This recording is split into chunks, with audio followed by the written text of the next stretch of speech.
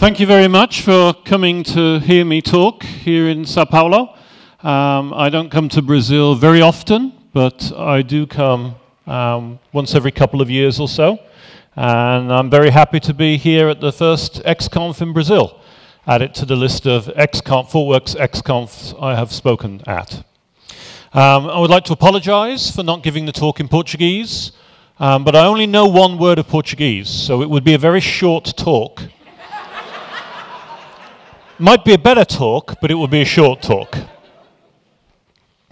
So the talk I'm going to do is about refactoring, um, which is a technique that uh, I've been somewhat known for because I wrote the um, original book on refactoring back in 2000. And I spent most of the last few years writing this, which is the second edition of the refactoring book. And I it's always a difficult decision to do a second edition of a book, even a book that's been very successful as a first edition, because you say to yourself, why go back over that ground again? Um, and in this case, I did this because I feel this is a really very important technique, a core technique um, for software developers. And it was important to um, make sure that it was explained in a fresh way for new people coming into the profession, because after all, we have new people coming into um, software development all the time. Um, just out of interest in the crowd, how many people here do say they do refactoring regularly as part of their work? And how many people here, and it's perfectly okay to stick up your hand, either don't know what it is or you don't use it because you don't think it's applicable to what you do? Uh, no one's prepared to admit it. Okay. So a lot of people put their hands up. It's a very common technique, and so a lot of you are familiar with it. And that always then kind of raises the point with a talk like this. I'm saying introducing refactoring. If you already know about refactoring, why don't you just go out to the bar and have something to drink while I'm speaking instead? And indeed, what use is a second edition book, or even the first edition book, to you?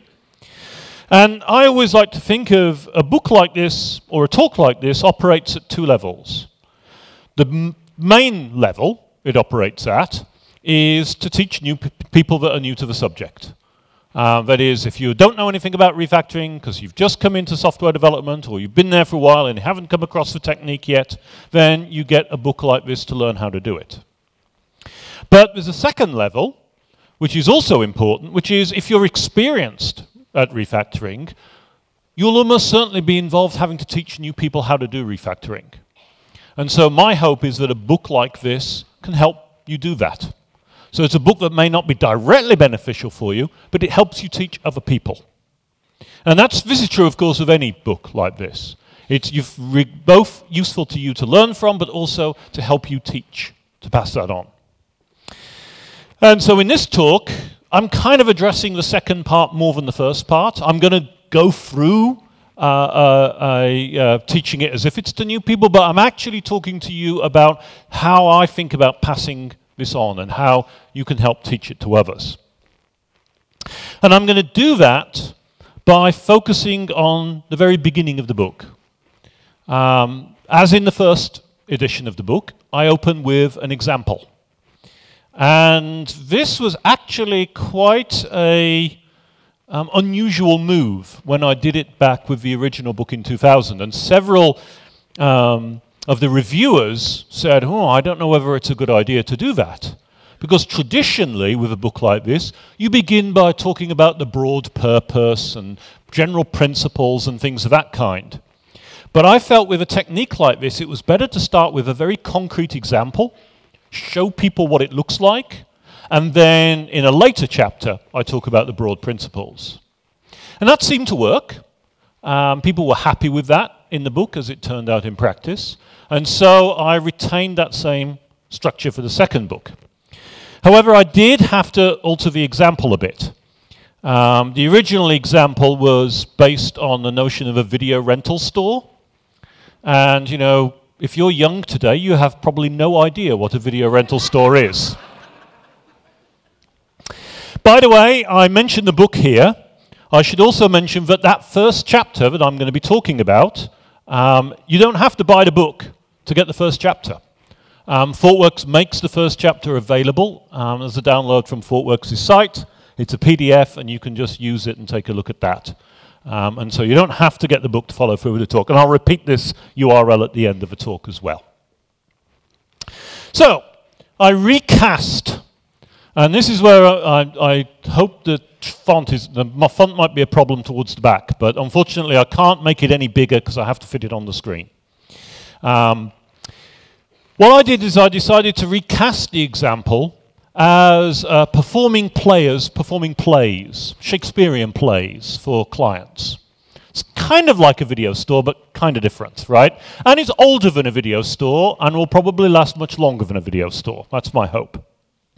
And imagine they are doing this and they are billing, sending out bills to their clients for their performances. And the data that they capture for this um, is the input data for the program is based on JSON data structures. So this very first one here um, describes the various plays that they have. And hopefully, as you can see, it describes the title of the play and whether the play is a tragedy or, or a comedy. Because they do two kinds of plays, tragedies and comedies, because it's Shakespeare, right? And then when they do a performance of the play, what you see is this JSON data structure, where they basically say, okay, I'm doing it for a customer, and for a particular customer, I carry out certain performances. Each performance, I have a particular play, which is the play ID indicated at the data structure at the top, together with how many people were in the audience, because that's the basis um, for the billing. And then the program takes these two input data structures and produces this output. A simple little statement, plain text, that says how much cost it is based on the amount of people who come to see the play. Very, very simple program. Um, and in fact, the entire program um, is that. Uh, again, if you're not focusing on, don't have to focus too much on the details of the program because you can always look at the book or the um, PDF later on. Um, it's not a huge program. And at this point, one of the difficulties of any teaching of programming begins to come up. Refactoring is a technique that makes sense with larger and, and, dealing with larger systems. But in order to explain it, I have to use a program that's too small to be worth the technique. Because if I tried to explain it on a big problem, it would just take too long and everybody would sort of lose attention and all the rest of it. And I tried some larger examples when I was writing the first book, and they were just too big. You just couldn't hold them all. So as a result, I use a program that's kind of too small to be worthwhile showing this example. Um, but bear in mind that this is an important technique, of course, for a much bigger thing.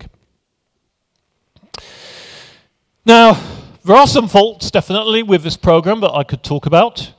Um, but when it comes to refactoring, one of the things to bear in mind is you don't necessarily want to refactor a program just because it's there. Um, if you've got some code that works and it's doing its job and you've got no problems with it, there's no point refactoring it just because it looks ugly. The moment you want to refactor it is when you need to make any changes to it because that's when you need to start understanding how the program works. And if the program is ugly and badly written, it's going to take you longer to understand how it works than it ought to. And refactoring then kicks in because by refactoring, you can both help yourself understand the program and leave it in a better state for future modifications. So the key thing here is refactoring is based on modification. And the reason it's so common, of course, is that, we're all, that any piece of software that is still alive, we're modifying all the time. And I have a, some whole other talk um, that I won't go into now, but talks about how this is part of the thing that many people find difficult to understand with programming is we need to write clear, high uh, software that has a good internal quality, not because we just want it to be better, but because it allows us to more quickly add features in the future. And the reason that we want to use techniques like refactoring is has to be an economic reason. I've heard people talk about um, you know, not being able to refactor on a project. And they say things like, you know, we want to refactor the program to make it better, but our management won't let us because they want us to get features out more quickly. That's a very common statement. And they say, and we've said, yeah, but we want to be good professionals and, and refactor so that we're doing a good job. And the manager says, well, that's all very well, but I want you to get features out quickly. The tragedy here is as soon as you start justifying refactoring by saying, I want to be a good programmer, and ignoring the, um, the speed thing, you have already lost the argument. And the reason you've lost the argument is because economics will always trump professionalism. But the reason that you want to refactor regularly is because of the fact that you want to produce new features quickly. That's the reason to do it. Refactoring allows you to go more quickly over time. So it's important that whenever you're discussing refactoring with someone and trying to justify it, focus on the economics. Focus on the fact that it allows you to get more features out more quickly. So it's not a case of refactoring all more features, it's refactoring in order to produce more features. And it's really important to focus on that. So what new features are we interested in having for this? Well, here I've got two basic change requests that I look at in this opening chapter. At the moment, we have a um, plain text statement to send to people. But, you know, we want to be in the 1990s, so we want to produce HTML. so that's the first need. We want to be able to be produce both HTML and a plain text statement which is, as you'll see, quite an important little driver. The second thing we want to do is we want to deal with more kinds of plays. So I've mentioned at the moment that we perform tragedies and comedies. But in the future, this troupe wants to provide, perform histories, pastorals, pastoral comicals, historical pastorals, tragical historicals, tragical comical historical pastorals, scene individuals, and poem unlimited. But we won't actually go there in the talk. I put that in brackets because um, when I timed this talk, it just took too long to do that bit. It's in the first chapter, and you'll see how we do it, and I'll say a few words about it towards the end, but we won't actually cover that here. What we'll focus on is producing this statement in HTML. So imagine you've got this thing, you've got to go to this slug of code written by somebody else, or worse still, written by you six months ago. You have no idea what the code does, but you've got to remember, figure it out. And you look at a big block of code. When I look at a big block of code like this, one of the first things I look for is are there any obvious lumps of code that kind of fit together? And an obvious thing that gives a giveaway is when somebody has used um, some blank lines to separate areas of code, um, such as here, where we have a blank line there and a blank line here. And what's more, how about, um, well, sometimes you get a comment as well, there isn't one here, but you have something like that. And here, furthermore, I've got a switch statement that kind of obviously makes its own block. Whenever I see a lump of code like that, I immediately think of my first refactoring to consider, which is extract function. So if you know the original book, you might know that the original book, it was called Extract Method. And this is actually part of the, another change from the initial book to this book. The original book, all the code examples were in Java. And I did them all in Java because at the time, Java was the language of the future. People would say, in the future, all programs will be written in Java. well, we saw how that worked out. With this book, I had to decide what programming language to use. Would I stick with Java, which is still a hugely popular programming language, or should I do something else? Um, when it comes to writing a book, the language I choose isn't the language I most like. It's the language that I think most of my readers will read. That's why I chose Java in the first place. I didn't like Java back in 1990. I was a Smalltalk person. Yay, Smalltalk. Any Smalltalkers out here? Ah, there's good. There's one, one or two. That's nice. So, but I picked Java because most people would read it. For this edition, I decided to switch to JavaScript.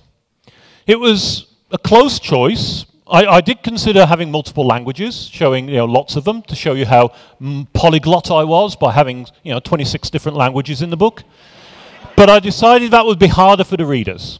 So I wanted one language. It had to be very common. It really came down to Java or JavaScript.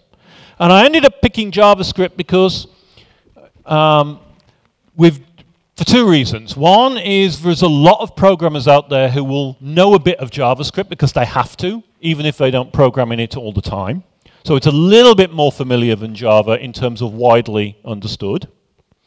But also because Java is very form forcefully an object-oriented programming language.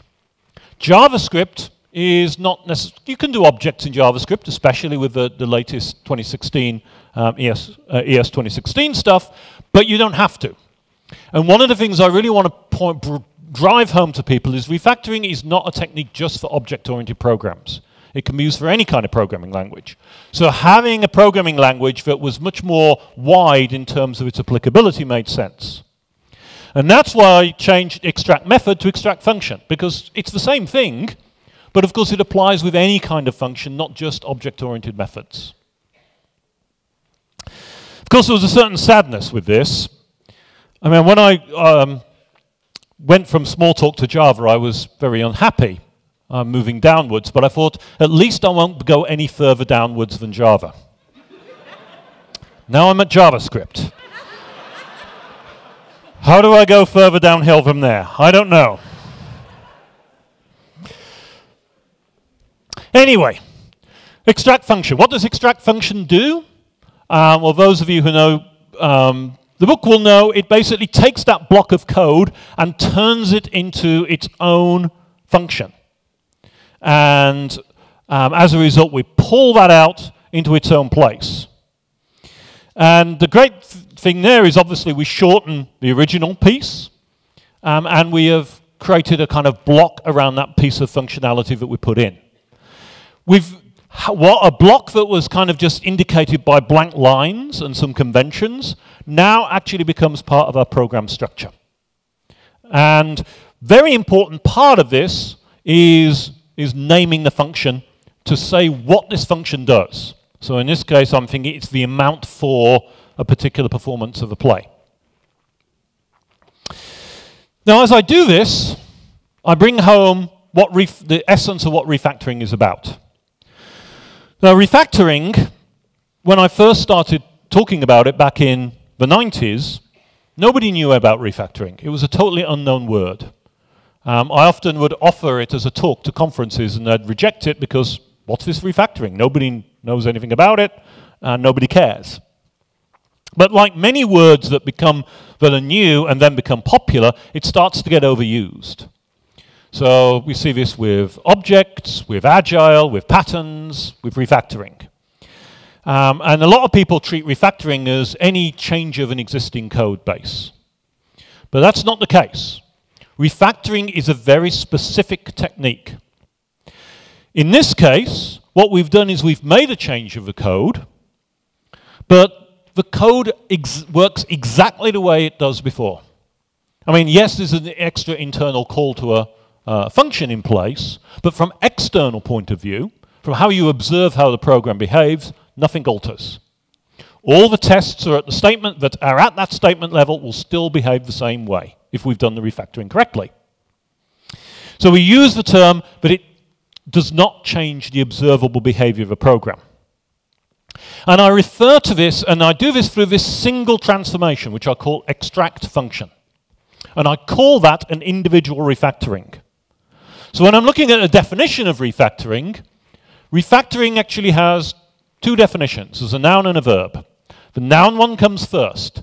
It's a spe specific change, like extract function, that does not change the observable behavior of the program.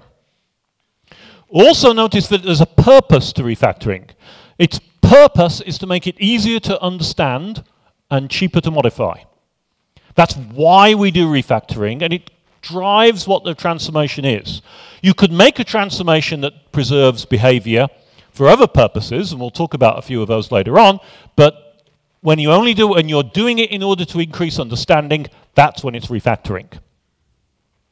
Then there's the verb refactoring, which is to restructure software, but only by carrying out a sequence of these refactorings. So it's not any old changing of the, of the software. It's this very specific technique where each change you make is itself a refactoring. You're never changing the external behavior of the software. And this is crucial to how refactoring works. We do a little thing like extract function and it doesn't seem to do much. But the thing is, because we don't change the external behavior of the program, we're very unlikely to make a mistake. And if we do make a mistake, automated tests should catch that mistake and we'll quickly see what goes wrong.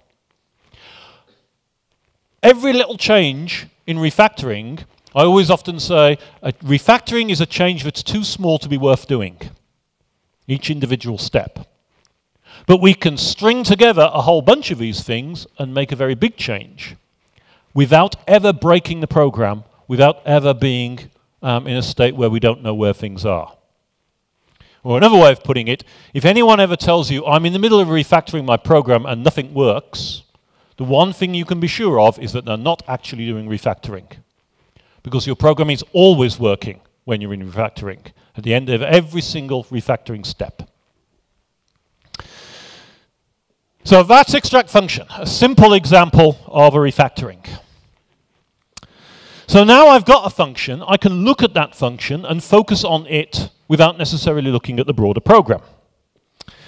And as I'm looking through this, the first thing I do is I look at um, what I pick up one of these variables, the variable that is being returned here. Now it was called this amount because that made some sense in the context of the broader statement function. But when I look at it in the context of this function here, it no longer really makes as much sense anymore. So my next move, my next refactoring move, is rename variable. I'm going to rename that and rename it to result.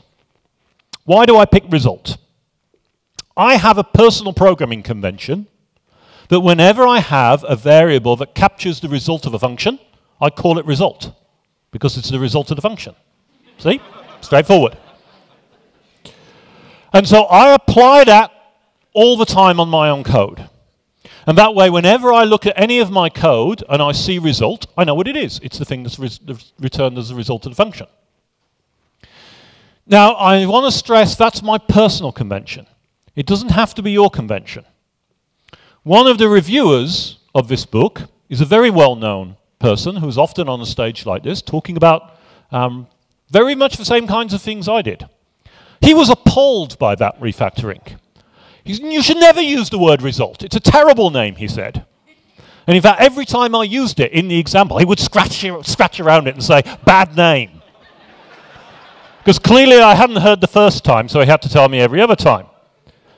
Interestingly, like a true software developer, he never justified why it was a bad name. He just called it bad. How many people do we know like that in our work? But the important is it doesn't matter whether I'm right or he's right. You've got to decide for yourself, or at least your team has to decide. What are your naming conventions? What are you going to follow? Because coming up with good naming conventions across a team has this great benefit. If you all call the result of your functions result, then whenever you see a result, you know it's a result of the function. You could call it value, perhaps, if you prefer value. Fine, as long as everybody's doing it and it's consistent across the code base. It also means if you're doing something other than result and I come into your team, I have to adapt my style to match yours. Because I'm now part of the team, I have to fit into team style rather than my personal style. I might use result at home, I use whatever it is I'm working on in the team. And you have to do that same adaptation as an individual as well. Because what you want is a consistent style across the team. Naming, formatting, things like that. Formatting we can enforce through linters. Naming is a lot more difficult, but again, you want that consistency. And that consistency goes as to how you construct statements as well. Um, it's common in Java, for instance, to always have get something and set something for getters and setters. If that's your convention, follow it. And it's a good convention to use in the Java world. You'll notice I don't use it here in JavaScript because that's not the convention there. Anyway, so pick your standard and operate with it. What's next? Okay, so I'm now going to look at one of the arguments, perf.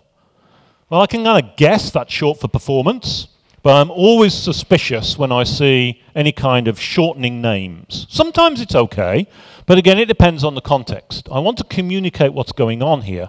Perf doesn't really provide that, particularly within the context of this function.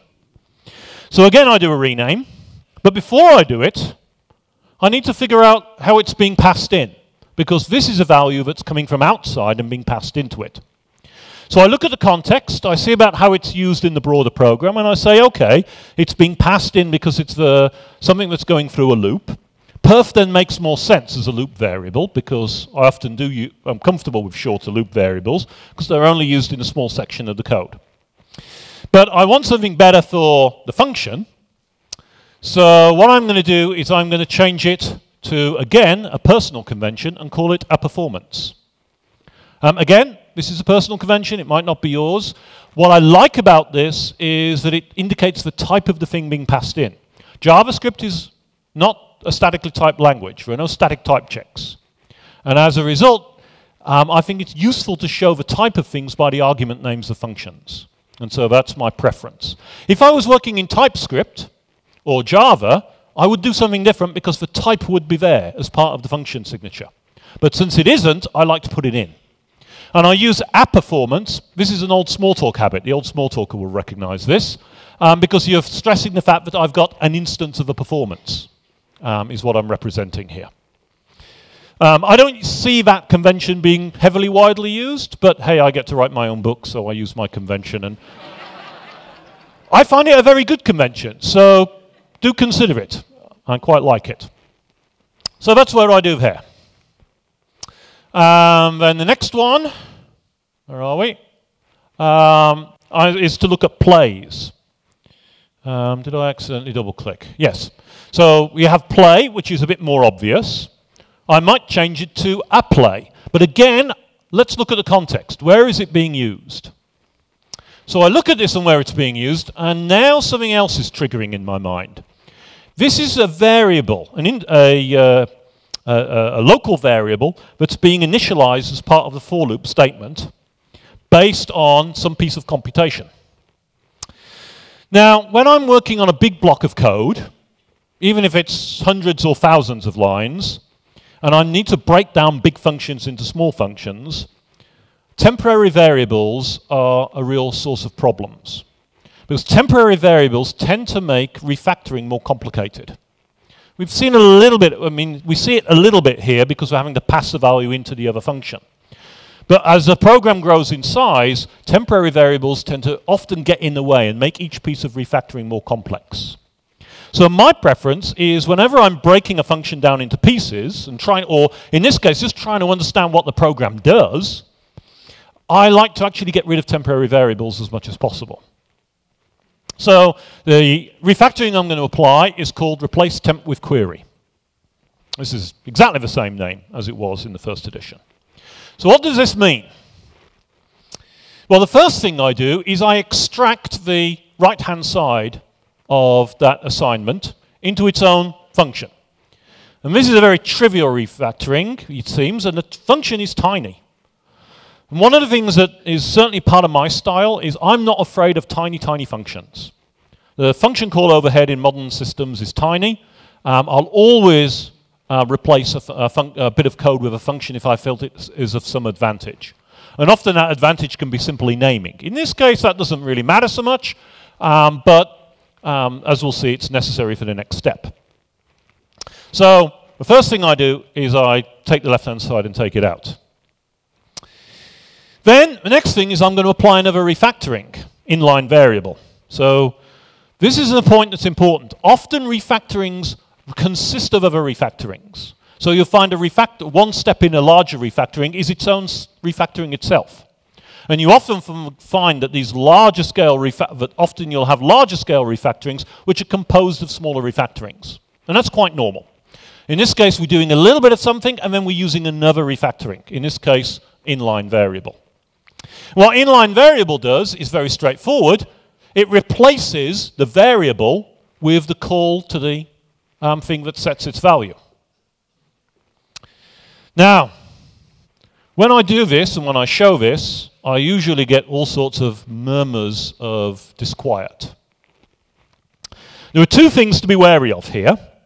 One is something to be genuinely wary of, and one is not. The thing to be genuinely wary of is that when you do this, you've got to make sure that that variable is not going to change during its usage. And here, we're pretty okay because it's actually marked put into a constant. And although constants in JavaScript aren't anywhere near as constant as I would like them to be, because I'm a big fan of immutability, and immutability in JavaScript is a, a sort of hope rather than anything else. Um, you are actually getting away with it here. And of course, we can look at the implementation of that play for function and see the fact that it is actually um, not have any side effects. But whenever you do this, you've always got to look. Is there any side effects on the variable that I have to pay attention to? That's a genuine concern. Make sure you have that straight. The second concern, which is actually the most common concern, is the one that I don't have. I, I feel is, off, is usually a needless constraint, and that is when people say, oh, that's going to hurt performance. People have seen that and heard that when they come across this kind of refactoring. Oh, I'm calculating this thing three times now, when before I had to calculate it once. That's going to slow down the program. Whenever you have some concern about performance, um, if you're going to do anything about it, you have to test it. Run the program before and after the change. See if there's any significant change. Almost certainly, there won't be one in a case like this. It's a dictionary lookup, right? They aren't exactly slow. Um, performance is really important. Systems require a certain level of performance to be effective, and a hell of a lot of programs do badly when they're slow. The trouble is, there are two ways to achieve, the two techniques that people use to try to achieve good performance. One is terrible, and one is the right way. The terrible way is to, whenever you see a situation like this, to say, oh, I don't want to do that because it'll slow down performance. When you really only have a very vague intuition of what is fast and slow on the machine, and even experienced programmers' intuition is usually wrong. So if you've got some intuitive reason to say, I'm a bit suspicious about this, don't listen, because you've probably got it wrong. Even, even if you're as experienced a developer as I am, you make mistakes when it comes to performance things. There's a much better way to get good performance. The way you get good performance is, at the first point, you create a good testing environment for performance testing. A realistic environment that allows you to see how does the program perform under realistic conditions. That's actually quite hard um, and requires significant effort. For instance, if you're building a system that's going to have multiple users hitting a database, you cannot performance test that system by using one user and doing performance tests against the database. Because most of your performance are going to be contention between multiple users. So you have to have multiple users in order to test that contention. So, so setting up a decent test environment for performance testing is a significant amount of work. It's worth it, and you should do it, but don't underestimate how much it is. The next thing is whenever you're concerned about performance, the way you go about doing it is you, you start by profiling the system under some typical um, interactions, and you look for the hotspots. Because most of the program will not any change you make won't affect, actually affect the overall performance. There'll only be some bits where it counts. You want to find those bits, those hotspots. Then when you've found the hotspots, you can then begin to make some transformations to see if they'll improve the performance. But even then, you look, you say, oh, I think this transformation should do something. You measure, you make the transformation, you measure again. If there's been no significant improvement, you undo the change. You use that process very rigorously as performance improvement in order to get the performance levels you want. Do that, um, and that will get you performance improvement. But never guess where your performance issues might be because you'll almost certainly be wrong. As a more advanced technique, and the technique we use a lot at ThoughtWorks, um, make performance tests part of your regular build, run them as frequently as you can, and look for anything that causes performance to suddenly go down. And that indicates there's a problem. Um, and nine times out of ten, it'll be hitting the database or some kind of remote call situation that'll be the source of the performance. It will pretty much never be something like this, which is in-memory computation. Occasionally you'll be wrong, of course, but very, very rarely. And I actually take it more strongly in refactoring in this situation. I wouldn't even bother thinking about trying to run the tests, even if I, my spidey sense said, "Ooh, this looks like it's going to might be a problem," because once I've refactored the code, I'm going to be able to use the process I just described for performance improvement much more effectively. You can, you can improve the performance of well-factored code much more easily than you can poorly factored code. And that's something that any, all of the performance gurus that I know really stress. Get the code well factored first, then do a disciplined approach to performance improvement. You'll do much better that way. So for the moment, we won't worry about this. And in fact, I'll, show, I'll indicate how this can improve performance later on. So, um, we do this. And then, um, then we look at the play, and now inside the amount for statement, we can also replace the play there with the function call. And what does that allow us to do? Um, oh, I'll... Uh, I'm forgetting my own script here. So this replace temp with, that completes the replace temp with query. I replace it in the function as well. And what I want to point out is that this is a, a, a very definite set of steps.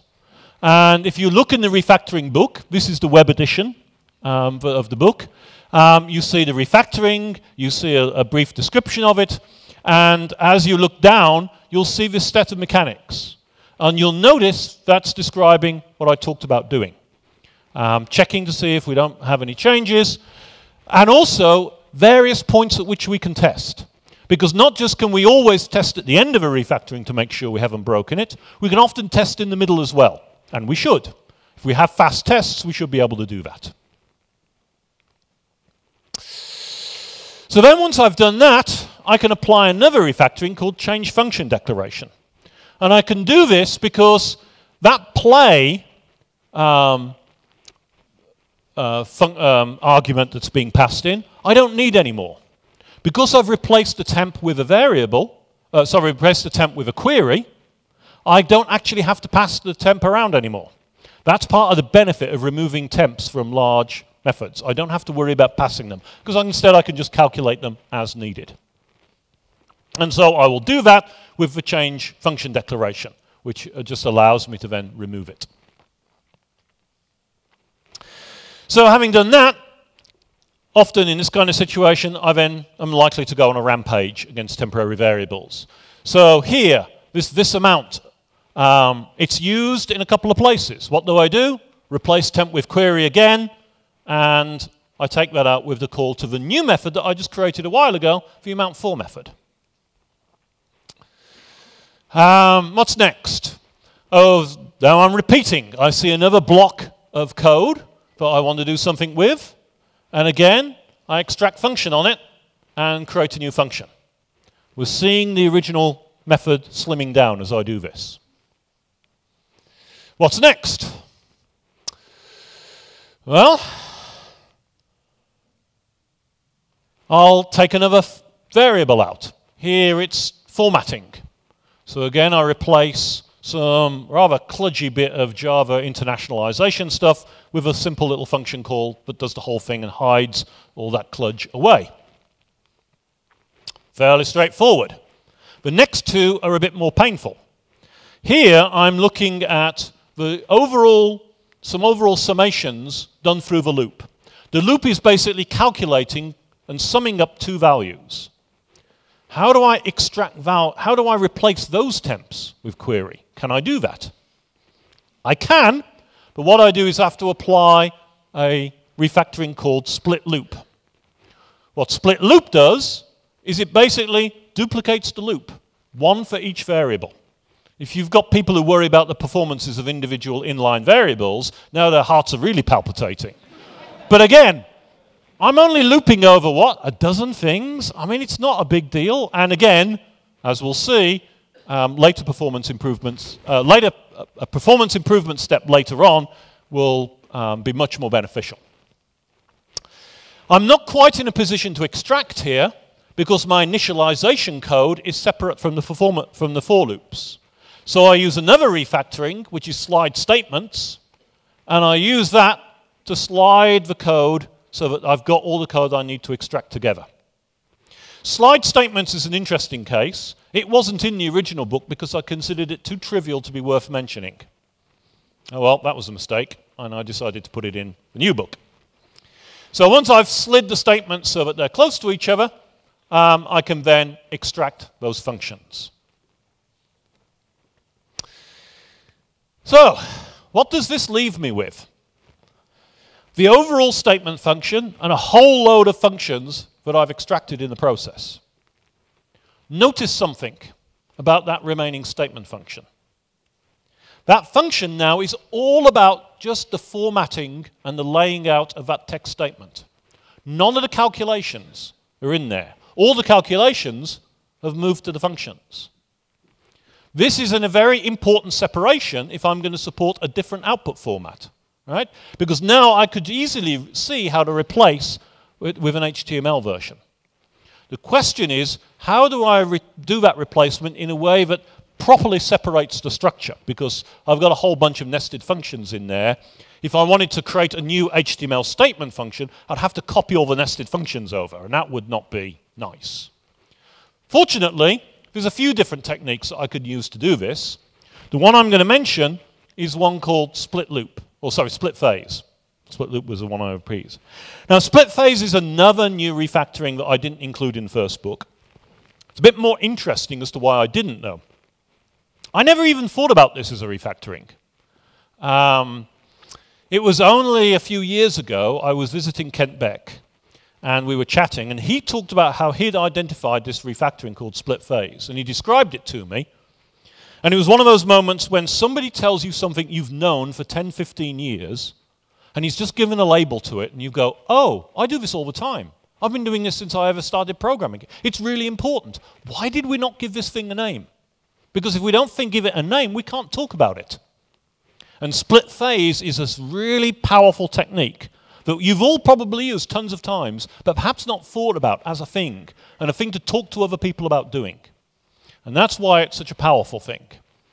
Basic idea of split phase is to say, at some point, you've got a bunch of computation, but you can divide it into two phases, one followed by the next, where the first phase creates some intermediate data structure, which it passes on to the next phase. If any of you have, uh, remember your compiler theory classes, you'll know about tokenizers, tokenize text into tokens, which is an intermediate data structure, but it passes on to a parser to, create a parse tree. And that itself, of course, is an intermediate data structure for further layers of transformation. We do this all the time. Um, and I just hadn't thought about it as a thing. But this conversation with Kent brought it out. So let's go through the split phase refactoring and how that works. So basically, we begin with um, the statement that we have. And the first thing we do is we extract the entire content of the statement into its own function, which seems like a silly waste of time. But trust me, this is the good first step. So now we've got all of this um, code separated into its own function. The next thing we do is we create this inter intermediate data structure, which for the moment is just an empty dictionary, an empty JavaScript object. Doesn't really do anything, and we add it to this render plain text method. In time, we'll get rid of the other two arguments to render plain text and only use this intermediate data structure. Then, what do we do? We start populating the intermediate data structure. So here we're just saying the, the statement data's customer is the invoices customer. Very simple, straightforward thing. And we replace all the references to invoice customer in the render plain text with data.customer. This is a very, very simple refactoring, but it's the essence of what we're trying to do. Move all the data from the original arguments into this intermediate data structure. Then we do the same thing with the performances. We take the performance object um, data structures and we put those onto the data structure, and now we can get rid of invoice as one of the input parameters to render plain text. Notice as part of doing this, we do have to um, pass this data object into one of these um, further functions as well. And I'm not showing the details of that because otherwise it would um, take too long. the next thing we want to do is we want to look at these performance structures and we want to say, we, at the moment we're passing in the original performance um, what we want to do instead is create, again, an intermediate data structure for this. So what we do is we do this little, um, we basically copy the performance into a fresh object. And I use the term enrich because, as we'll see, we'll add more data to this intermediate structure again. So what we're doing is essentially copying the input and then adding in some of the computational stuff. So perhaps this will be a bit more uh, here when we see this. So here we say, okay, we take each performance and we do that play for lookup and we move it from the rendering of the, of the uh, plain text into the creating of the intermediate data structure. And we add it into that intermediate data structure. And that causes us to move one of our nested functions from the rendering into the calculation part of the code. And then we just continue doing that. We do the same thing for the amount for. We calculate the amount in the creating the intermediate data structure, and it allows us to move the function from the rendering part to the calculation part.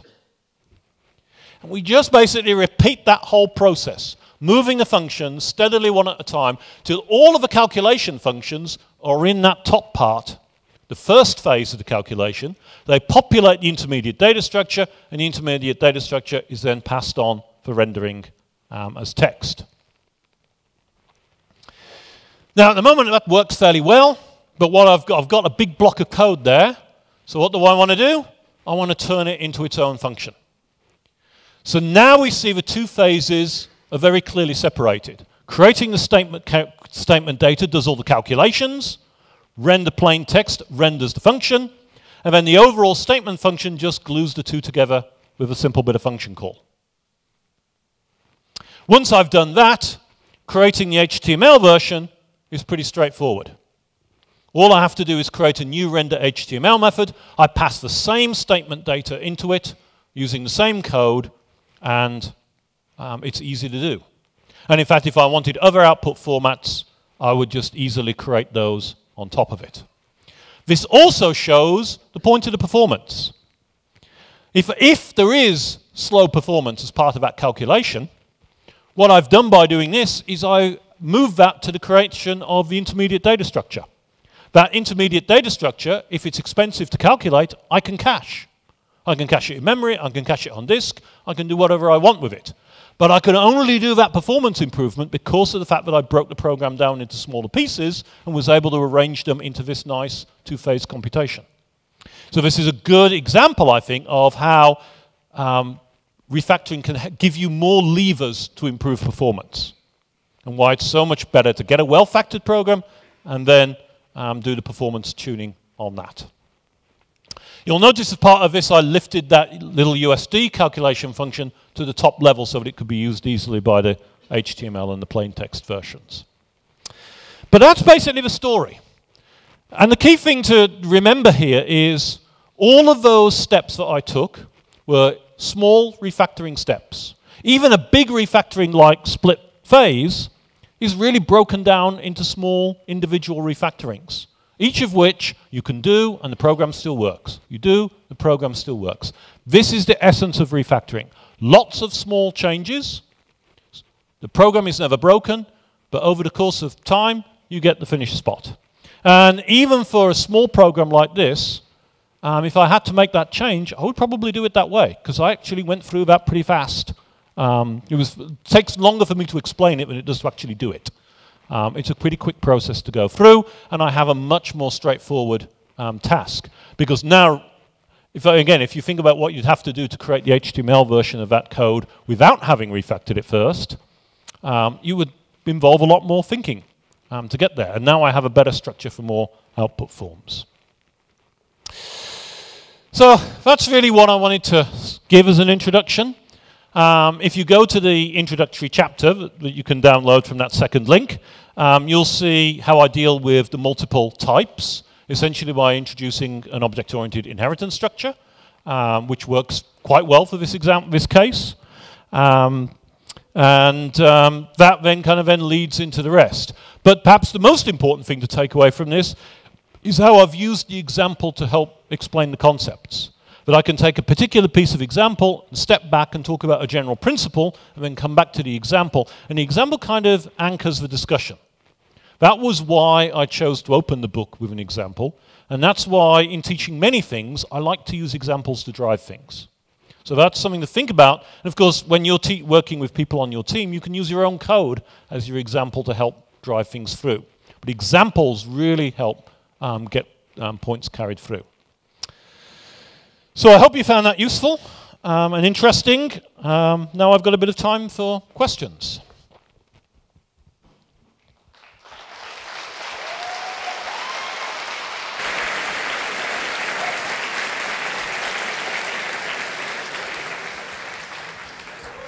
Thank you very much, Martin. It's always good to hear about how to write good code and the techniques available, and it's it's also very inspiring.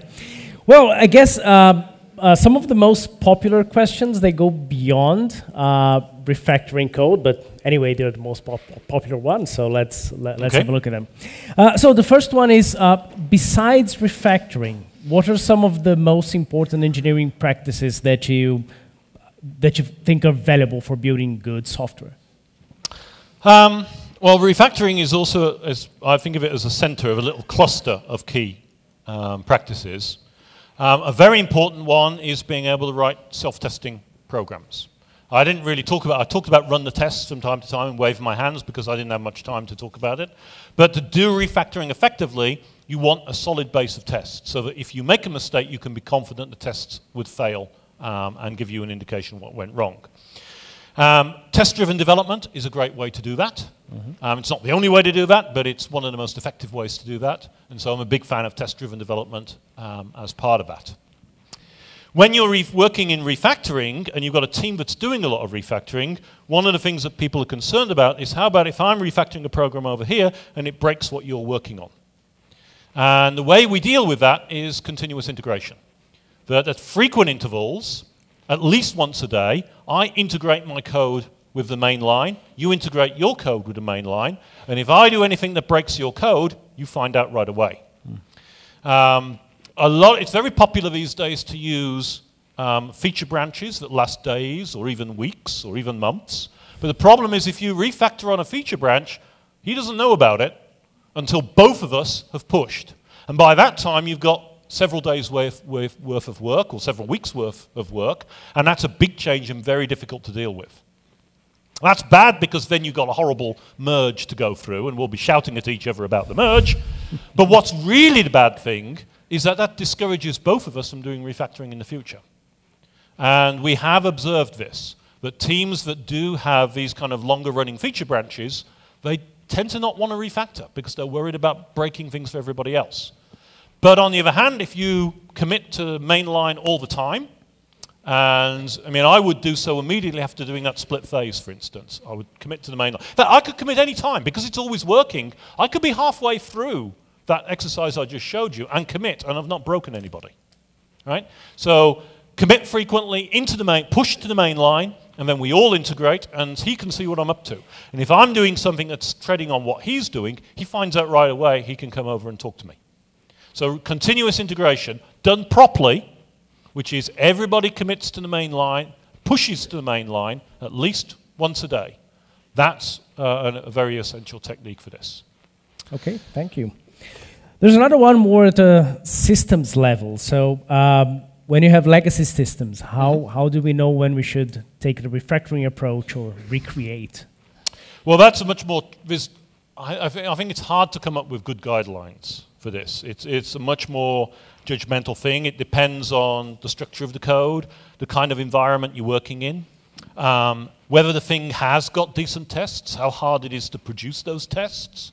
Um, these are the kinds of things that you've got to look at. Now, I don't really have, I've never really come up with some, or seen someone come up with a good set of guidelines for that decision.